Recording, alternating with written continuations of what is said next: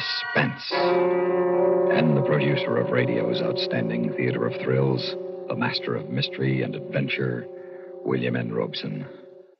Let the AMA and the APA note we do not wish to imply that all psychiatrists are heavies, nor that psychoanalysis is nonsense. Without psychotherapy, a lot of us would be dead, or worse, so sick that death itself would be a welcome surcease. So listen then, listen to Head Shrinker, starring Miss Nina Foch and Mr. Helmut Dantine, which begins in just a moment. Come on and go, go, go in a Plymouth, a go kart through and through.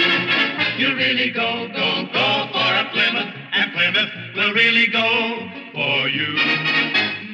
15 minutes behind the wheel. That's all it takes to convince you that the 59 Plymouth's really got it. Got the newest of new design, new sport car handling ease, new Fury performance, new get up and go. Just tell your Plymouth dealer you want to sample the go. Then you turn the key, and Plymouth's new Golden Commando V8 leaps into life. Now you just push a button and go on your way to the most fun filled 15 minutes of your driving life.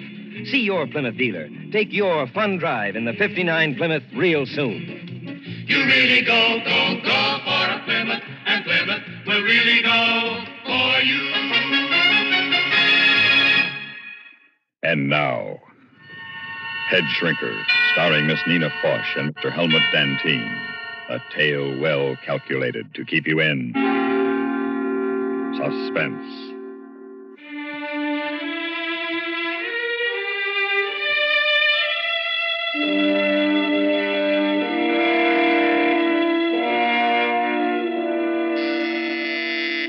The doctor will see you now, Mrs. Ellender. Oh, thank you. I- I'm his last appointment. As usual, Mrs. Ellender. I'll be leaving shortly myself. As usual. Thank you. As usual. Hmm. Well, how are you this afternoon? All right, I guess. The couch, or, or may I sit down? The couch, I think. Your associations seem to flow more freely on the couch. All right. You're the doctor.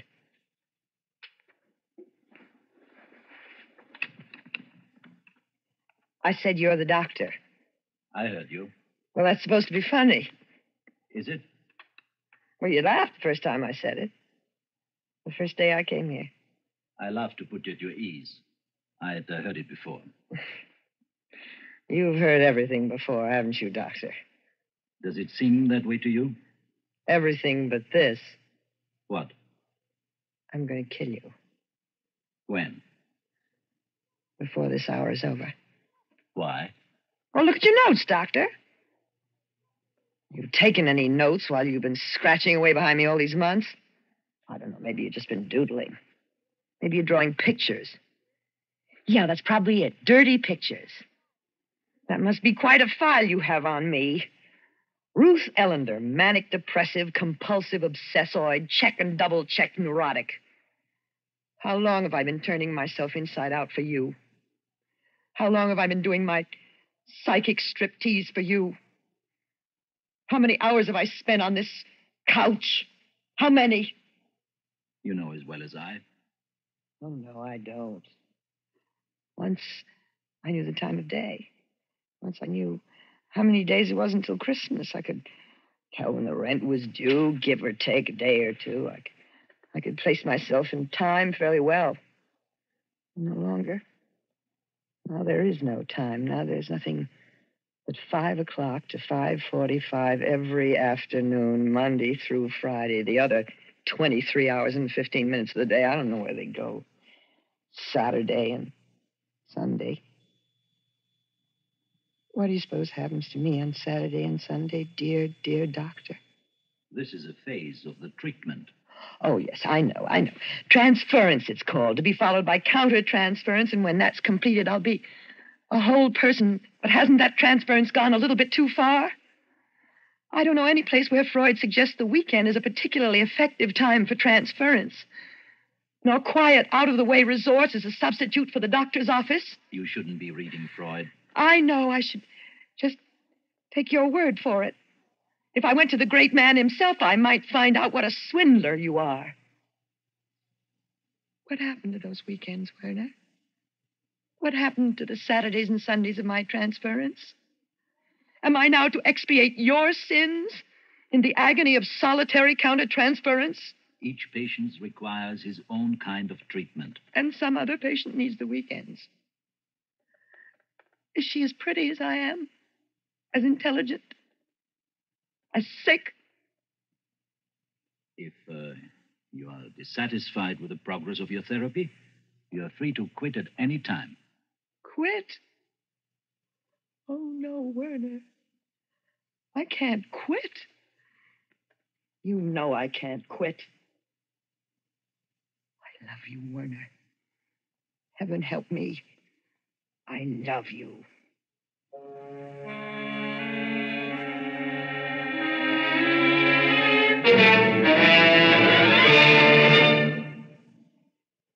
In a moment, we continue with the second act of Suspense. What bothers you most about a cold? For me, it's the choked up, congested feeling. In fact, science now says to clear away most cold miseries, clear away congestion. Sinus congestion that causes headaches, nasal congestion that shuts off breathing, throat phlegm with its choking discomfort, bronchial irritation that starts coughing. Yes, to clear away those cold miseries, clear away that congestion. And now, there's a specialized new medicine to do that fast. Four way liquid cough and cold medication. Taken as directed, with the first dose, feel sinus pressure and headache clear. Feel runny nose dry and open up. Breathe freely. Sore throat is soothed and cough eased. Yes, four way liquid clears away cold congestion and clears away worst cold miseries. Working through the bloodstream, it reaches all those congested areas. Because it's liquid, relief comes fast. So to clear away cold suffering, clear away congestion with new four-way liquid cough and cold medication. Get it today, only 98 cents. And now, starring Miss Nina Foch and Mr. Helmut Dantine, Act Two of Head Shrinker.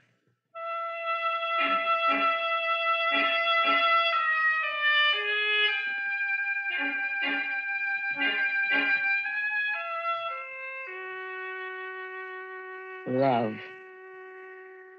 I said I loved you. What is love, Doctor? What is it to you?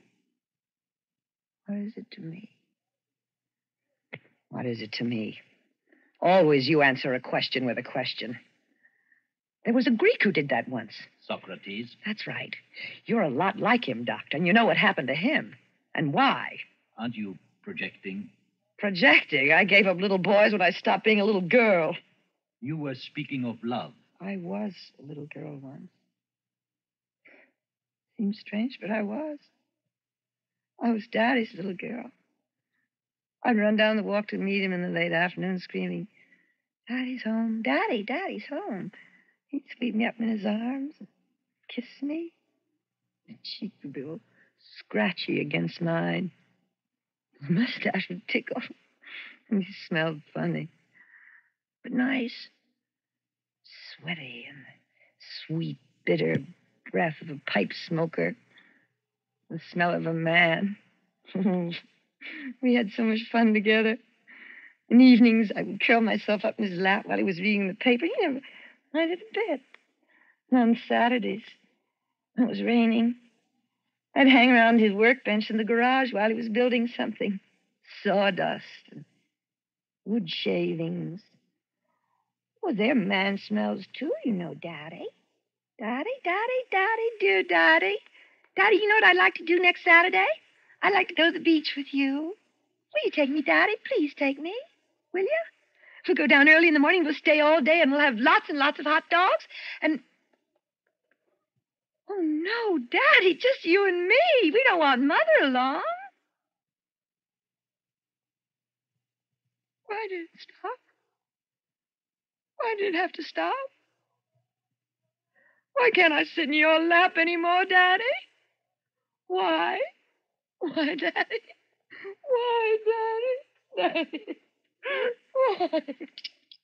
Here. Why can't I, I will give in you something to quiet you. I don't want any of your shots. I don't need your fancy magic medicine with the unpronounceable name. I want my daddy. I want it to be like it was before. Before? I want it to be like before I was 11 or 12. Before he changed. He changed suddenly, you know, all at once. He wouldn't let me curl up on his lap anymore. He'd push me and tell me I was a big girl now. He'd act embarrassed as if he were almost ashamed of me. Probably not ashamed, but uh, certainly embarrassed. You were growing up. I didn't want to grow up. I didn't ask to grow up. I wanted to be Daddy's little girl. That's all I ever wanted. I want all those boys in school. Later, I smelled like milk. Milk that was turning sour, not pipes and sawdust and sweat. My cheeks weren't scratchy, they were just boys. Yet you married one of them. Well, yes, I knew I'd marry him from the moment I met him at that party during the Christmas holidays. We started going around together once a week, then twice a week, and soon we were seeing each other every night. And then he would call me his princess. And he was my knight on a white horse. And we were married in, in church. I was a June bride. And Daddy gave me away.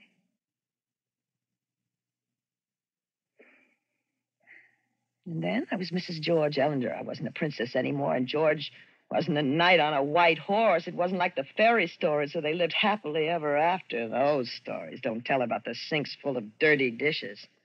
They make no mention of the sleep smell of the dawn embrace or the painful tedium of getting to know someone after you're married to him. But we made it all right. We got through that first year. We played house. I called him Daddy, and he called me Mommy. He thought it was fun. Well, it was fun. But you changed all that.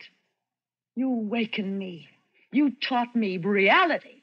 You opened my eyes, you and your psychoanalysis. Why couldn't you have left me alone? Why didn't you let this sleeping bitch lie? Who do you think you are, God? Perhaps you think I am. Oh, no, no, no. Not God. The devil, maybe, but not God.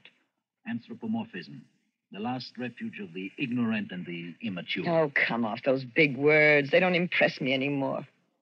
Save them for your next victim. Victim? Yes, victim. Lawyers have clients, storekeepers have customers, doctors have patients, but you have victims. Why me, though? Why'd you pick on me? There were other women at that party where we met. Lots of them. Nice, juicy, neurotic ones. Why me? You sought me out. Oh, come now. Who lit the cigarettes? Who brought the drinks? Who danced attendance and, and, and who told me I was more disturbed than I realized? The fantasies of rationalization. The distinguished psychiatrist, the great healer, concerned with poor little me. The beard, like a messiah. The gentle voice, with just enough of Vienna in it. The compassionate eyes. I arrived at that party in the best of health. I left it a very sick woman who could be made well only by you. You convinced me that I was leading a meaningless life, that I was unhappy and maladjusted and immature. You assured me that I would only realize my fullest potential through psychoanalysis. You practically begged me. No.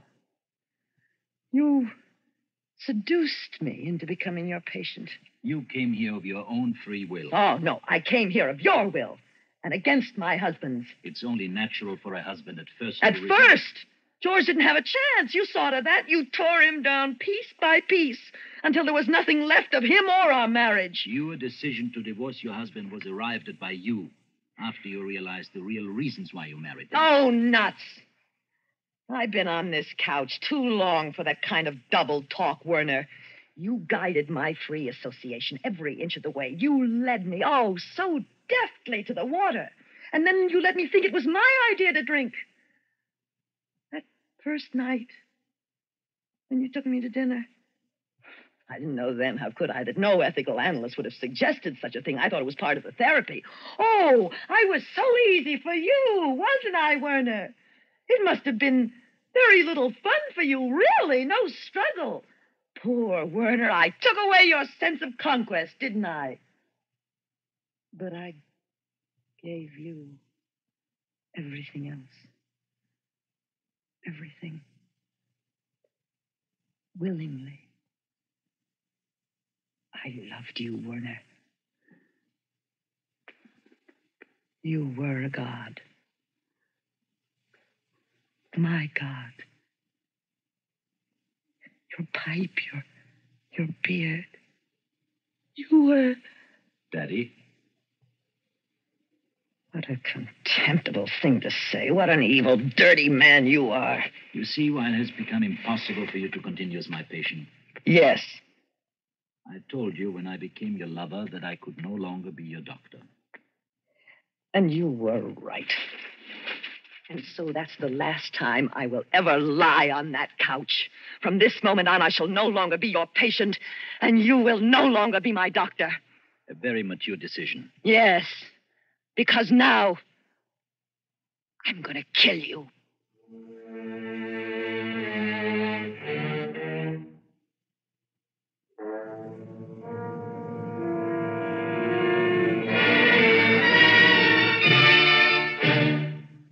In a moment, we continue with the third act of Suspense. Once upon a time, the man with the fastest horse was the best newsman. Those were the days when everything traveled slowly, and just getting the news through it all was an accomplishment. The fabulous progress in radio communications has changed all that. Today, we can hear what's happening anywhere within moments of the event itself. And with this change has come a new criterion for good news reporting. Swift communications aren't enough. How good is the man at the mic? What can he tell us of why the event took place? The meaning of the event in our own lives, its meaning elsewhere in the world. Those are the questions we want answered now. And those are the questions distinguished CBS newsmen are eminently qualified to answer. CBS newsmen are more than widely traveled news reporters. They are men with thoughtful, probing minds that are put at your service. Every news service has fast horses these days, but only CBS News has men like these reporting to you regularly, bringing you more than the facts, helping you to understanding. And now, starring Miss Nina Foch and Mr. Helmut Dantine, Act Three of Head Shrinker.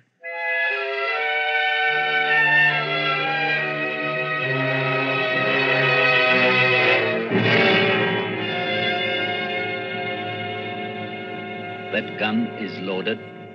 Do you think I'm just acting out my aggressions? I'm not that sick, dear doctor. The gun is loaded.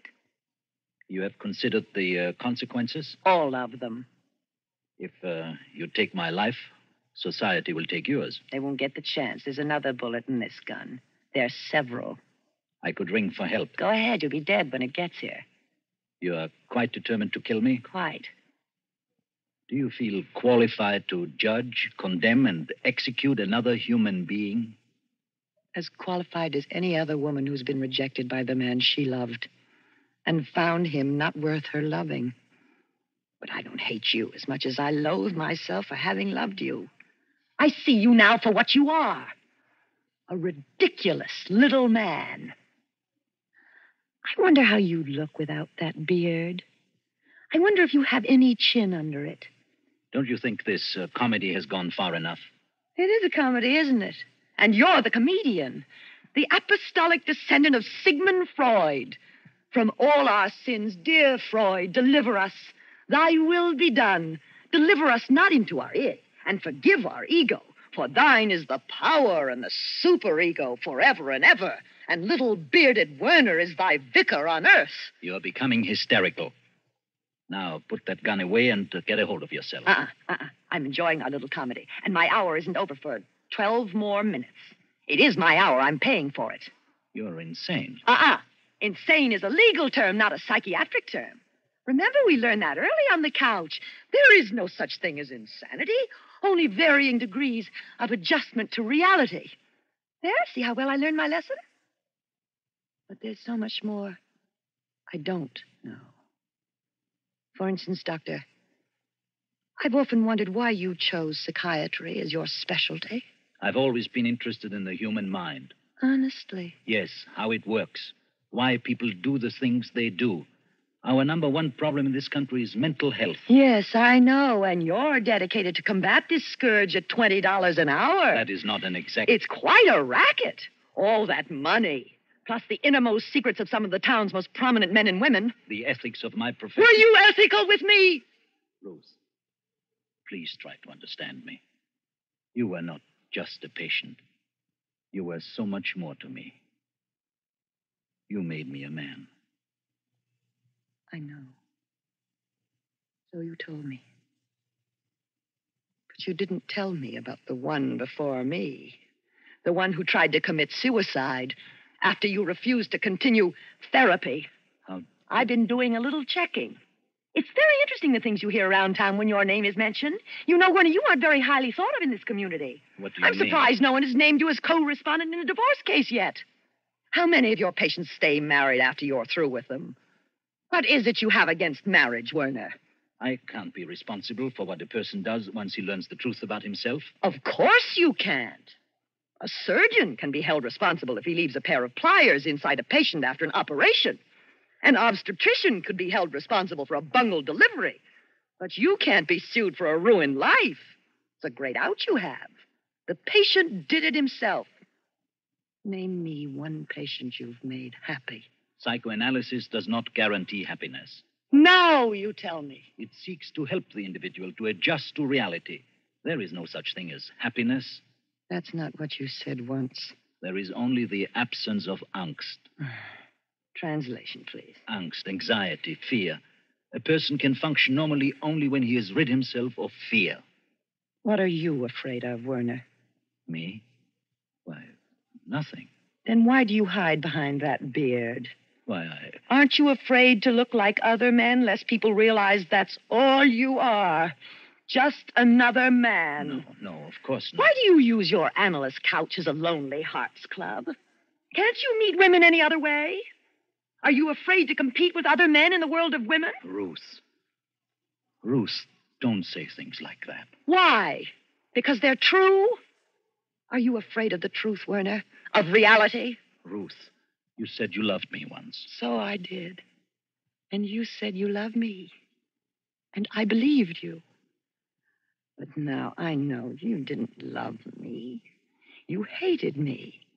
You hate all women. And you hate the happiness they can bring to a man. So you try to destroy love wherever you find it. You aren't an evil man, Werner. You're a sick man. I know I am. But what can I do? I sit here all day long, listening to the deepest problems of others, but. But who can I turn to with my problems? Forgive the bad joke, Werner, but what you need is to be psychoanalyzed. I was, you know that. Then you need a refresher course. No, Ruth. I need you. Me? Yes. Oh. You. You know all about me. You understand me. I need your help, Ruth. Help Oh, me, Ruth. no, Please. no, Werner, no, no. You must help me, No. Ruth. Please help me. You seem to forget that I came here to kill you. But you didn't really mean it. You were acting out your aggressions, true, but you wouldn't go that far. Oh, yes, I would. No, not when I need you so desperately. You're really afraid, aren't you? Yes. Yes, terrified. But not of dying. Of living? Yes, without you. I know now I can't go on living without you. Then the biggest help I could be to you would be to kill you. Oh, but I, I couldn't do that now. It would be ungrateful of me. Uh, ungrateful? Yes. You, you see, Doctor, you. You've cured me. Of what? Of you. But, but I need you. That, my dear Werner, is your problem. Well, I see my hour is nearly up. You're not leaving me. Yes. But you can't. No, you can't. Oh, yes, I can. You are no longer my doctor, my father, my lover, or my God. You're just a frightened little man. Ruth. Please, Ruth. Ruth. Oh, I might as well leave this gun with you. I have no further use for it. Good luck, Werner.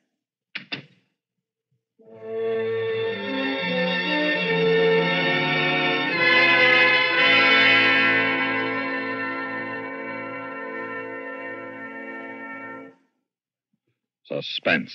In which Miss Nina Foch and Mr. Helmut Dantine starred in Head Shrinker, written, produced, and directed by William N. Robson. The nurse was played by Florence Hawksworth. In just a moment, a word about next week's story of suspense. Of all leading filters, cigarettes, Kent filters best. Kent filters best. It makes good when you smoke Kent. Kent filters best. Of all of the brands of cigarettes, Kent tastes the best. Kent tastes the best.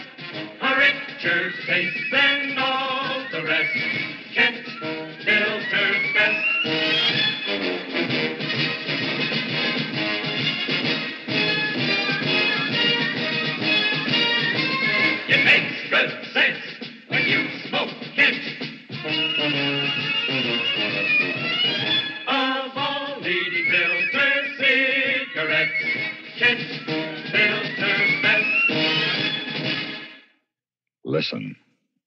Listen again next week when we return with James and Pamela Mason in The Dealings of Mr. Markham. Another tale well calculated to keep you in suspense.